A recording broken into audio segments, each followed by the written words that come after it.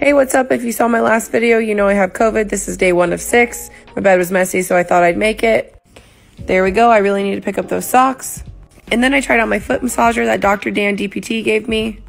And then I watched Sharp Objects on HBO, and it was really bright out, so then I closed my blinds.